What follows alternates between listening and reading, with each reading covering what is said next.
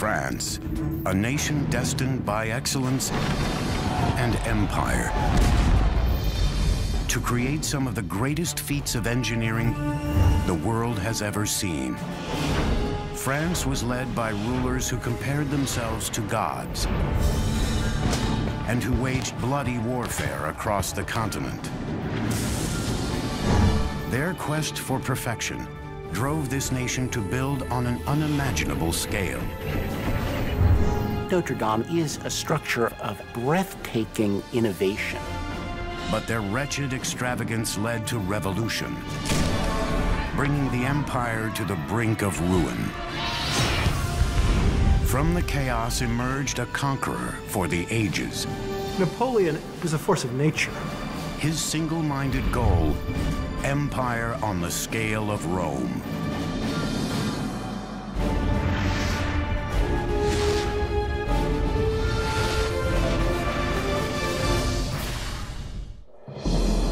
Eleven sixty-three, Paris. An army of construction workers pulling endless loads of limestone swarm over the Ile de la Cité, an island in the middle of the River Seine. The site has been sacred for thousands of years. It was first a Druid shrine.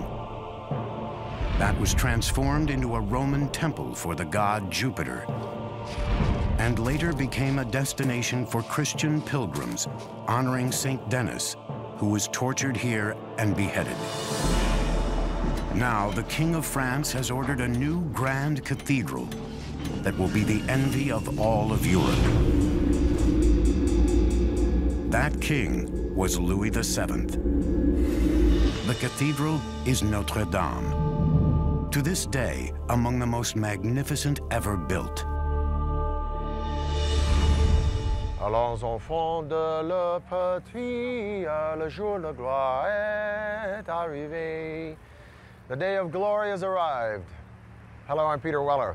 I learned the Marseillaise, perhaps the world's most passionate national anthem, about 15 years ago when I decided to take some time off and come here to the streets of Paris and retrace the steps of the French Revolution.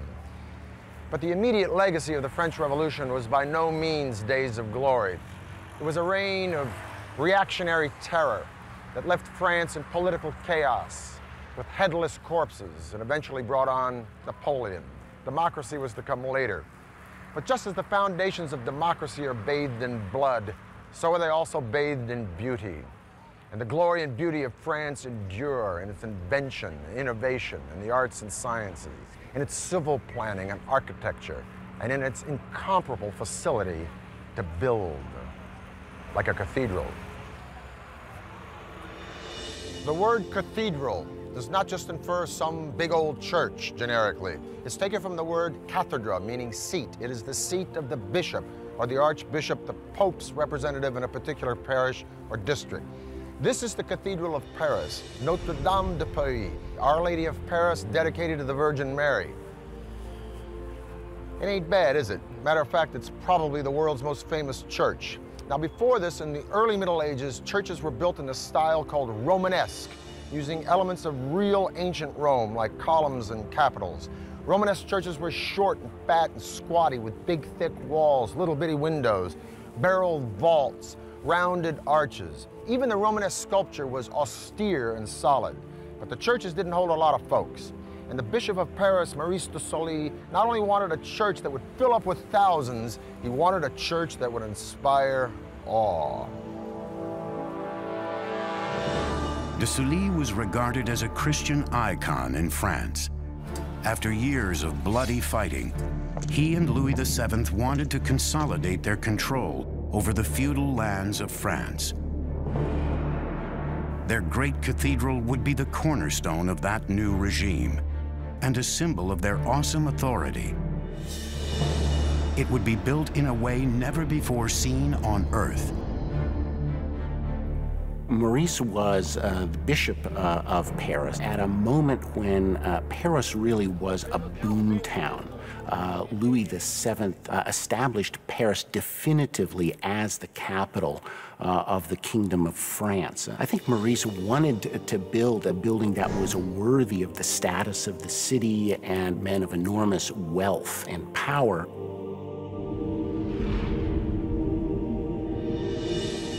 Two centuries from the 1100s to the 1300s that it took to build Notre Dame, from soup to nuts, is a period we call Gothic. But originally, Gothic was a disparaging term.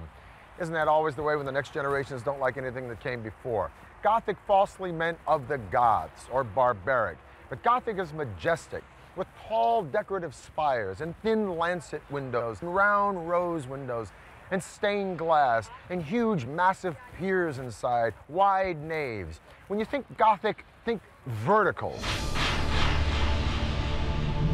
The Gothic, one of its primary characteristics is the sense of uh, both spaciousness and scale uh, and uh, extreme lightness, both structural lightness and then uh, an interior filled uh, with light filtering in through the stained glass windows. It presented a, a kind of new vision or new image of, of, of heaven um, to, to the worshiper.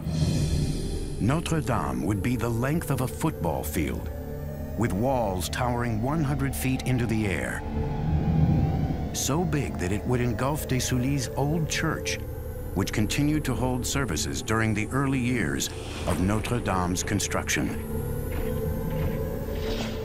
Scaffolding provided a framework for lifting heavy equipment and materials, wooden braces, and stonework for constructing the vaults.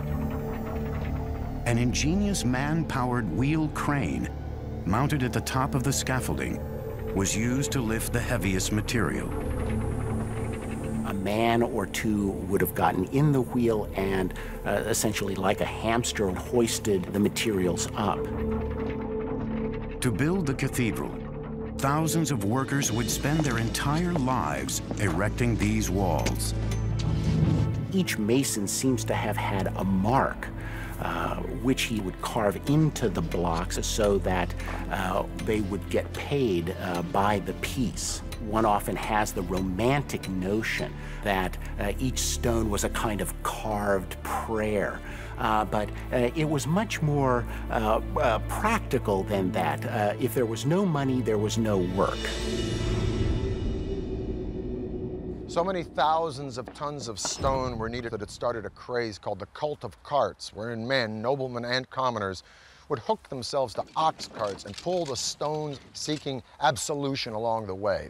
Now, as opposed to Rome and the Renaissance and even now, where architecture is deductive, that means it's thought out on paper according to mathematical proportions. Gothic architecture was additive. Some of these churches were just drawn in the dirt and then they went up. It's not to say that they didn't have a plan, but if they made a mistake, they added a pier or a wall or a pointed arch. Now, the thing with Notre Dame is that the weight of these stones, the downforce was so incredible. They also had the added problem of the wind because they were building up. Subsequently, they invoked this fantastic engineering element called the flying buttress. The flying buttress is this sort of half arch which displaces the weight out and then down. Notre Dame was so magnificent that it started a craze of Gothic building throughout Northern Europe, even before it was half finished. In the past, builders with soaring ambitions had always been stymied by gravity. The crushing weight of a stone ceiling created too much outward stress on the walls. It may have even started out as an ingenious type of scaffolding to support the walls. But now, as architects scrawled out brilliant blueprints in the shadows of the rising structure, the solution of the flying buttress would become a design element for the ages.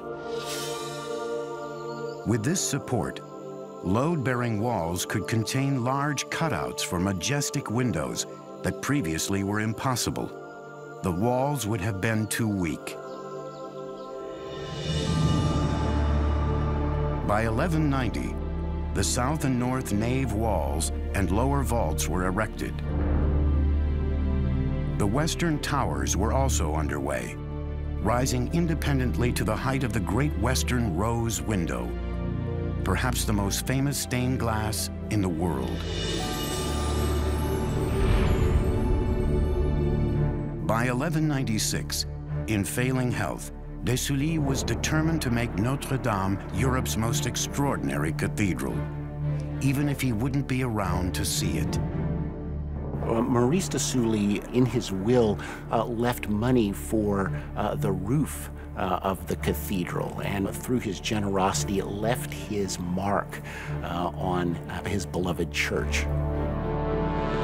The Cathedral of Notre Dame was finally completed in the mid 14th century, nearly 200 years after construction began. It was the symbol of an empire on the rise.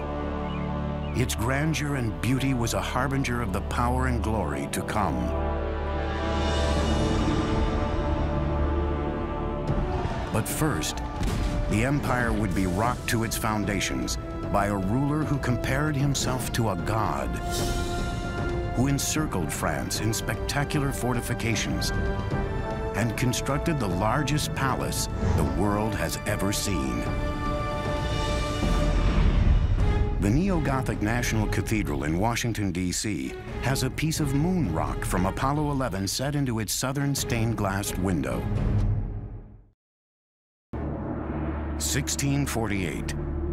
France has a new ruling family, the House of Bourbon. The country has just emerged from centuries of bloody warfare and devastating bouts with the plague. The new king is just nine years old. His name is Louis XIV.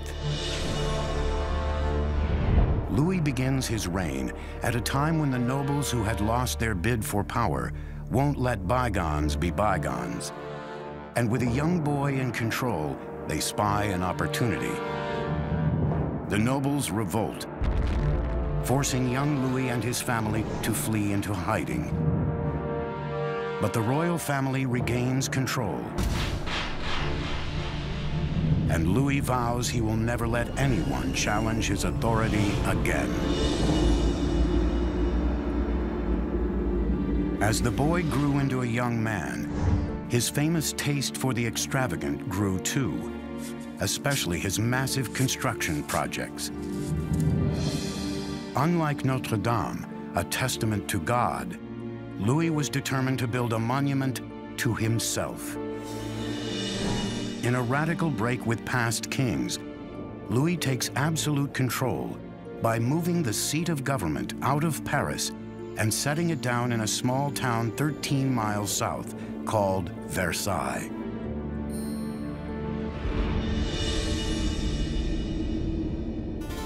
In 1661, architects began work on a colossal complex that would be the nerve center of the empire. Louis XIV wanted spectacular achievements. He wanted spectacular engineering, spectacular architecture. Versailles itself is a statement uh, that says a lot about the kind of uh, image he wanted to project to the world. You know, he wanted to be number one power.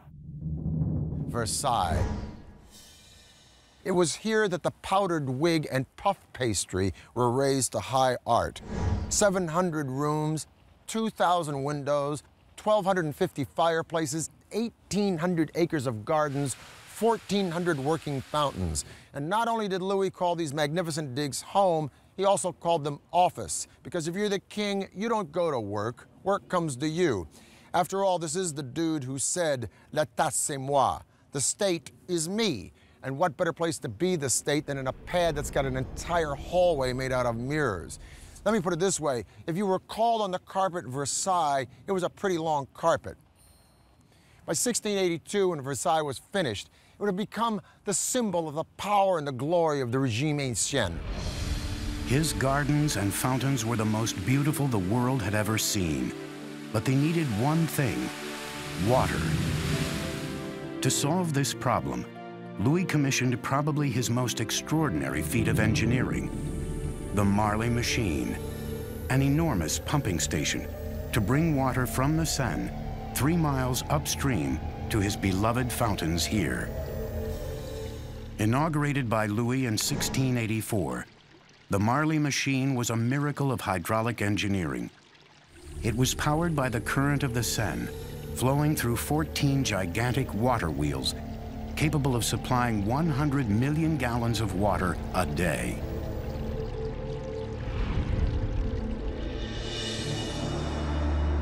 In his mind, Louis now transcended mere mortality.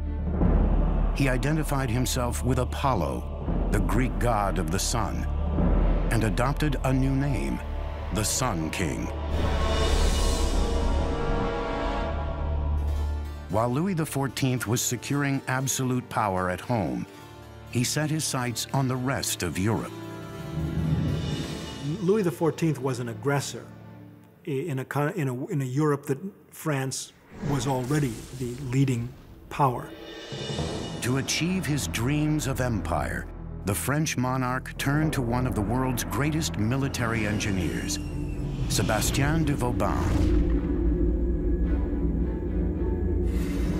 Vauban showed his brilliance in the battlefield with a revolutionary strategy of attack, the parallel trench method. It would save lives and change the way wars were fought for hundreds of years. 1673. Vauban would put his parallel method of attack to the ultimate test. Under gunfire, at the siege of the Dutch fortress at Maastricht. Vauban stationed Louis's troops along a first trench running parallel to the fort and 600 yards away, out of cannon range. The parallel trenches moved forward until Louis's artillery was near enough to fire breaches in the walls of the enemy fort. His technique worked perfectly. The French troops swarmed through the breaches, overwhelming the Dutch defenders.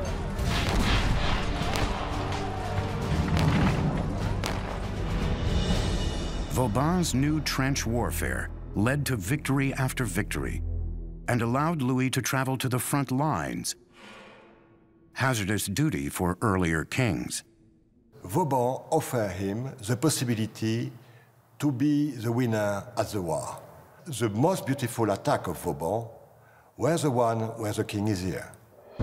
Every spring, Louis would lead his army to besiege border towns, taking much of the court with him including his queen and mistress. Vauban's siege tactics helped Louis expand the borders of France.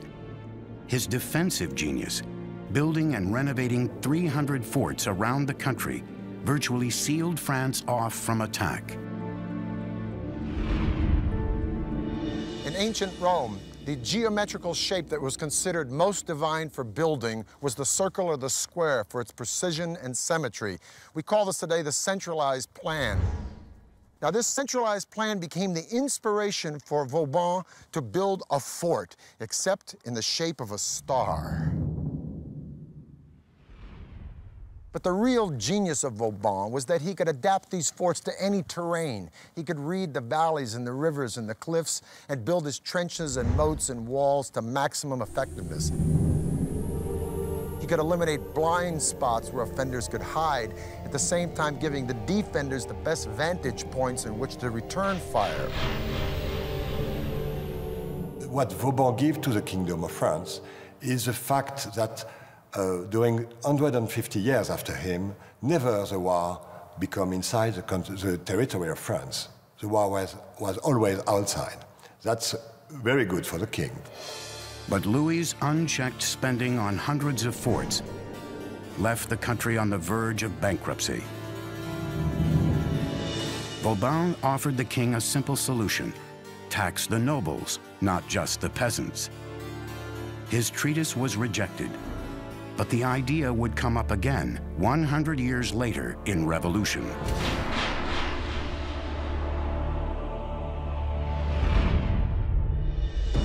But for now, Louis XIV was the most powerful monarch on earth. With his European expansion underway, he would set out to dominate the seas with a passage from the Atlantic to the Mediterranean, a passage no one believed could ever be built. The First World War officially ended in 1919 when Germany signed the Treaty of Versailles in the Hall of Mirrors. Louis XIV tamed nature just like he did empires. He pulled these parks and gardens of Versailles right out of a marsh. He spared no expense in diverting the rivers around Versailles to fill up these 1,400 fountains. But while these fountains were being designed, there was a salt tax collector named Pierre-Paul Riquet who had water dreams of his own. He dreamed of connecting the Mediterranean Sea with the North Atlantic Ocean with a waterway that would cut all the way through France.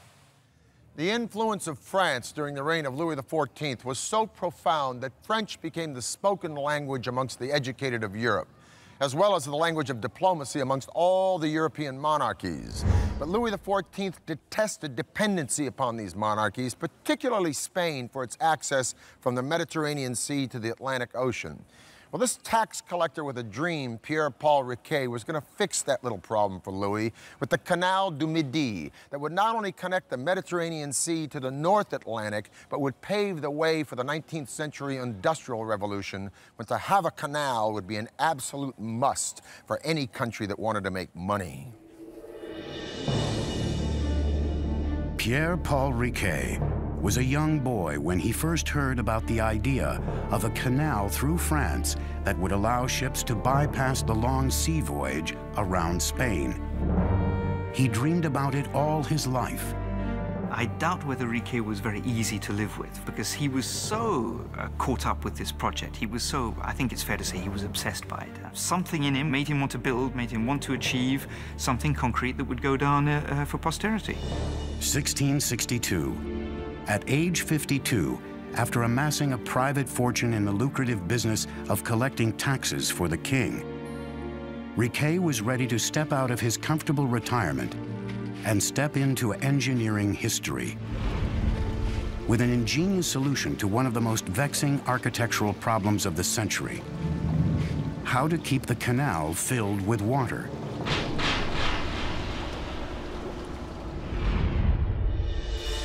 Riquet discovered a series of rivers that could be channeled to feed the canal at its highest point. But he'd need to control the water flow year-round.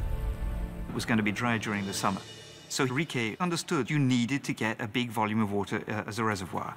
And uh, the, the site was found, which was the Saint-Ferréol Dam. And that was absolutely spectacular. That was the key to the whole project. A reservoir. It was a stroke of genius Riquet had solved the dilemma that no one could before him. There was just one small problem. To supply the canal with enough water, he would have to build the largest dam the world had ever seen. It would stand 105 feet tall and have a thickness of more than 450 feet. Behind it, a 2 billion gallon artificial lake. The Bassin de Saint-Ferréol would collect water from several sources. It may have looked good on paper, but there was only one man in the world with enough money to foot the bill for Riquet's bold project. To get to the king, Riquet had to find a way to his all-powerful finance minister, Jean-Baptiste Colbert. He sketched out his blueprints and presented them to Colbert. Colbert instantly recognized its potential to provide revenue and fatten the nation's coffers. The next step was to convince the king, who liked the idea. The canal would be a grand project worthy of his reign. Louis XIV acutely realized the potential of architecture uh, to establish an image that would embody not only his personal uh, authority and status, but also that uh, of, uh, of the Kingdom of France that he ruled. Even so, Riquet had to stake his own savings to pay for one-third of the project before Louis would give his approval.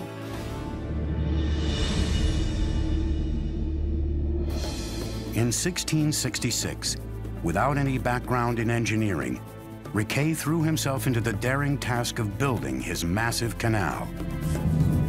He began construction of the Saint-Ferréol Reservoir, which would take four years to build.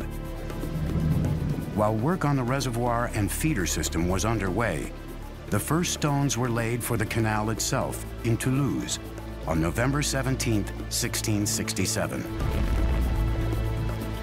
By January 1668, 2,000 laborers were already at work. At the peak of construction of the canal, Riquet had a labor force of 12,000, including 600 women, due to a shortage of manpower. To ensure a large and reliable workforce, he paid well above the going rate, provided affordable housing, and even gave vacation and sick days. He introduced uh, an early form of social security. You know, there was uh, such a thing as paid leave, which was absolutely unheard of at that time. So he was well ahead of his times, but he had to be to be able to implement the project in a decent time. It wasn't long before Riquet's massive engineering project and generous labor policies began to draw criticism. Opponents of the canal accused Riquet of wasting public money for his own glory on a project that was doomed to fail. Even Colbert began to have doubts. In 1677, 10 years into construction, the project reached a crisis as the canal approached the southern slope of the Enserune Ridge. Riquet proposed a daring new idea. He would build the world's first tunnel for navigation, and he would do it with explosives. When word of Riquet's plan reached Paris, Colbert panicked. He ordered all work on the canal stopped until a panel of experts could investigate. Thumbs up, and Riquet's lifelong dream would be realized. Thumbs down, and decades of hard work would go down the drain, and Riquet's fortune would be wiped out. The guillotine was promoted by Dr. Guillotin, but built by Tobias Schmidt, a German harpsichord maker. 1677, the Canal du Midi in the south of France. One of the greatest engineering feats in history is on the brink of disaster. After 10 years of tireless effort, Pierre-Paul Riquet risked losing everything. When word reached Paris that Riquet planned to tunnel through a ridge of mountains, Minister of Finance Jean-Baptiste Colbert ordered all work stopped pending an investigation into what he thought was an impossible idea. Using explosives to build the world's first navigable tunnel for a canal. Riquet's life work and personal fortune hung in the balance. Colbert said, we just don't believe you're going to uh, succeed in this.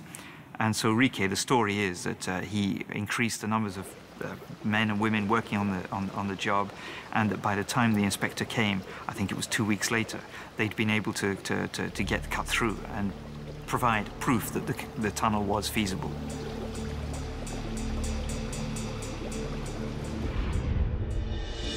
For 15 years, Riquet had faced every conceivable obstacle, natural and man-made, to build his beloved canal but now at 76, he was exhausted. On October the 1st of 1680, Riquet, gravely ill, called his son to his bedside and asked, Où est le canal? Where is the canal? His son responded that it was only about three miles away from the sea. Riquet passed away. The canal was opened eight months later, eight months too late for his creator to see it. On May 15, 1681, the Canal du Midi opened for business.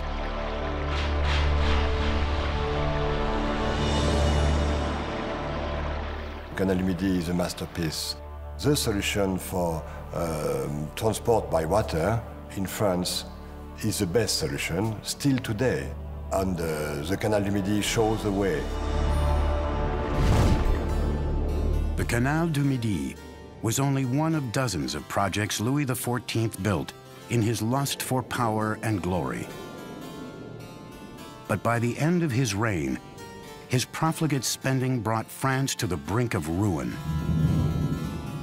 His autocratic rule and huge debts would sow the seeds of revolt a century later. In 1789, the monarchy was deposed by the French Revolution. King Louis XVI and Marie Antoinette had their heads cut off in the Place du Roi. But the reign of terror would turn in on itself, and Danton and Robespierre and the other fathers of the French Revolution would either be murdered in their bathtub or die by the guillotine themselves. And out of this chaos would come a young, brilliant general from Corsica who would lead France into a new era of empire. 1795. A young officer from a small Mediterranean island is about to make his first bid to seize power. Paris is reeling from three years of bloody turmoil in the wake of the French Revolution. His reign would capture the imagination of the French people and launch him onto the world stage as one of the greatest conquerors in history. His name is Napoleon Bonaparte. Napoleon was a force of nature. Audacity was his middle name. Napoleon imposed himself upon Europe with such force that he goes down in the annals with Caesar and few others. Napoleon's rise was lightning fast. From the head of the Army of the Interior to commander-in-chief of the forces in Italy in just one year. In 1796, Austria attacked French troops in Italy, and Napoleon took a disaffected and undernourished army and turned it into a veritable force. He beat Austria in battle after battle, eating up most of northern Italy, finally even bringing that serene Republic of Venice to its knees. When Napoleon returned to Paris, he was a star, and then he started to take over. But believe me, after 10 years of the blood and guts of the French Revolution, the people of Paris and France were ready to say, praise the Lord. In 1804, Napoleon was crowned Emperor Notre Dame. It is said there's a preparatory drawing of Jacques-Louis David of the event where Napoleon's taking the crown from the Pope and crowning himself. He also turned to his brother and said, if Daddy could only see us now.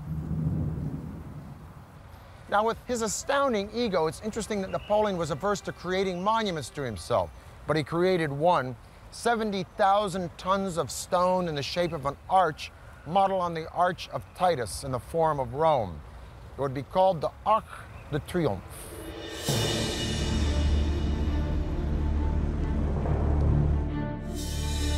In 1809, Napoleon chose architect Francois Chalgrin's design for his triumphal arch.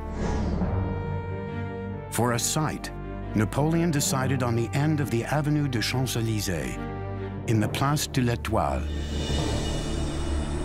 The structure would consist of a simple arch with a vaulted passageway, 98 feet high and 49 feet wide. In all, 164 feet high and 148 feet wide. The arch would be twice as big as its inspiration in Rome.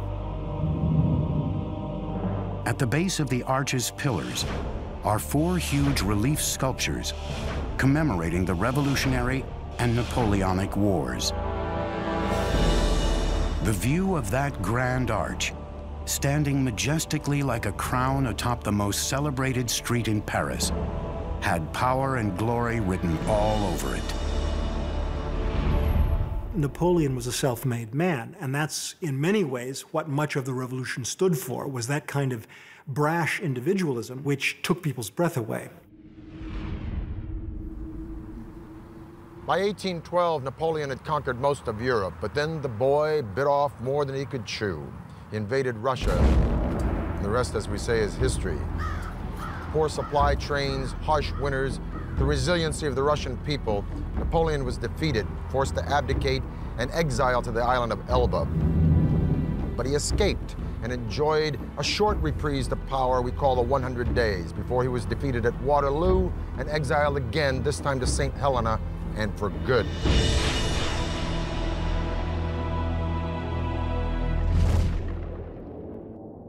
Perhaps in respect and awe that the French felt for Napoleon, they continued the work on the Arc de Triomphe until it was finished in 1836. And the Arc de Triomphe would stand as the emblem of France until a wiry, bizarre skeleton of a building made out of iron would change the idea of an urban skyline forever. The Arc de Triomphe would tower over Paris for another 50 years before succumbing to a spire that would seize the imagination of the world. In 1889, Paris would build itself one of the most memorable and daring monuments on Earth, the Eiffel Tower. Napoleon was not short. At five feet six and a half inches, he was even slightly taller than the average Frenchman of the 19th century. In the years after Napoleon's defeat, France survived three bloody revolutions in its turbulent move away from kings and emperors toward democracy. The 1880s marked the zenith of the French Empire, a colonial superpower covering one-third of Africa, Indochina, and a wide swath of the Caribbean. The International Exhibition of Paris of 1889 was designed to celebrate the centennial of the Revolution and establish a new era of power and glory for France. The French government chose a grand centerpiece for the expo, an epic thousand-foot tower a bold symbol of optimism and self-confidence. The Minister of Commerce, Edouard Lockroy, saw it as a symbol of progress where he said humanity gravitates endlessly upward. A design competition considered 100 proposals, including one from the engineering firm of Gustave Eiffel. Since the 1830s, engineers had been trying to build such a tower without success. Eiffel's international reputation as a superb builder of enormous bridges and megastructures, and his elegant design for the tower made him the easy winner. But Eiffel's tower didn't please everyone. As soon as his design plans were made public, there was an enormous outcry from Parisian artists and intellectuals. It was claimed that it was ugly, it was industrial, it was useless. It was a travesty to the Parisian landscape, which contained all sorts of wonderful classical structures. Today we take the Eiffel Tower for granted, but if you think about it in its time, this thing was pretty bizarre. Gustave Eiffel was about to transform the concept and appearance not only of a civil structure, but an entire city skyline. This thing was going to be the forerunner of the skyscraper, and a lot of folks in Paris didn't dig it. Just like 100 years later, they didn't particularly like the pyramid from I. M. Pei in front of the Louvre. But with the Eiffel Tower, it wasn't just the city do-gooders, but serious architects and writers voraciously lobbied against it. Guy de Maupassant supposedly said, I'll eat there because it's the only place in Paris where I don't have to look at the thing. The tower would be 985 feet tall, the tallest man-made structure in the world.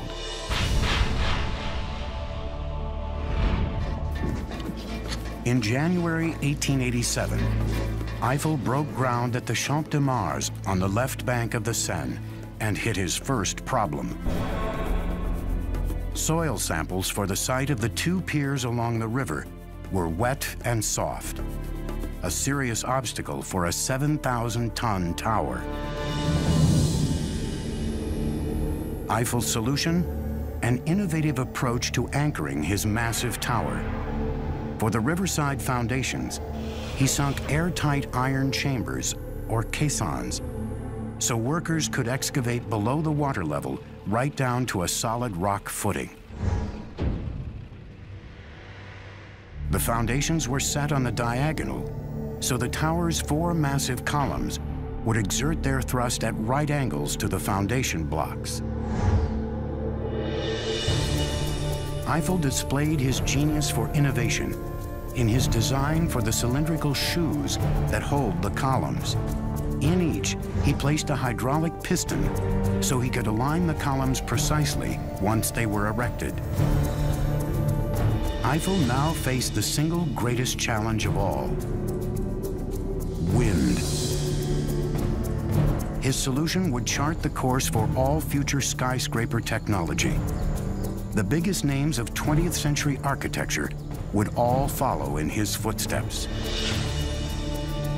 Eiffel was a leading authority in the aerodynamics of high frames, but even he was building into the unknown. Eiffel utilized a series of lattice trussed piers, precisely calculated with incurving edges to mitigate the effects of wind. He designed the tower so that it would never sway more than four to five inches in the strongest wind.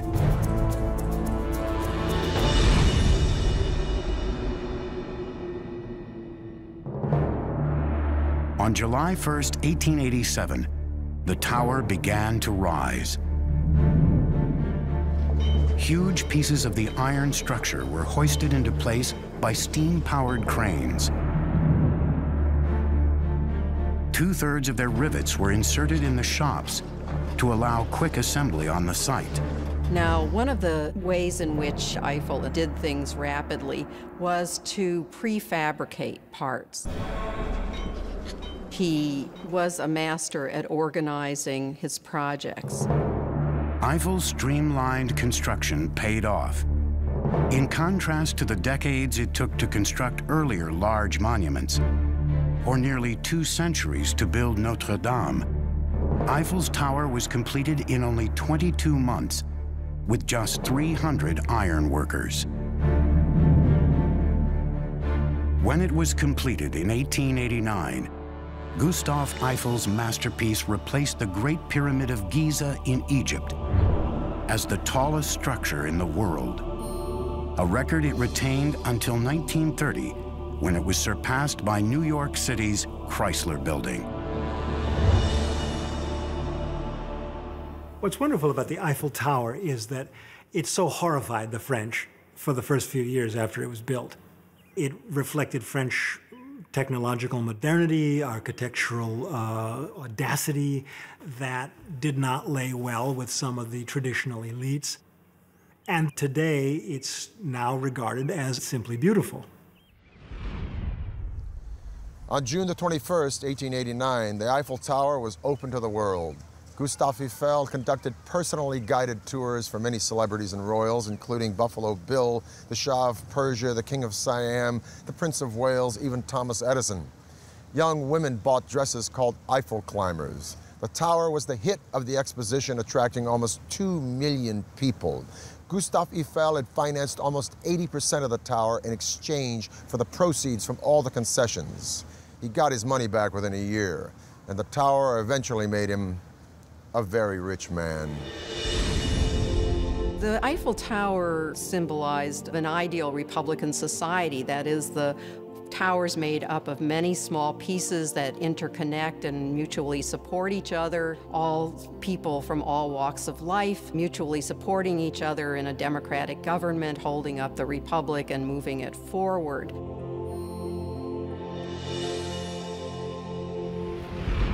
In spite of the cranky cab drivers of Paris, I love this town and I love France.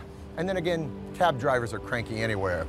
If I could go back in time, a few things at the top of my wish list would be to hang out for a weekend at Versailles with Louis XIV, or sip a coffee with one of my own personal heroes, Victor Hugo, or watch Cézanne paint or Rodin sculpt. As it is, I'm quite content to take my coffee looking up at Notre Dame or staring at the stained glass of Chartres Cathedral or gazing up at the Eiffel Tower and wondering how in the heck did they get only 11 pounds per square inch at the greatest points of stress on that thing. The grace and the style and the sophistication of the French have persisted from Charlemagne right into the 21st century. How do they do it? Well, some say it's arrogance. Personally, I think it's confidence. Vive la France. For the History Channel, I'm Peter Weller.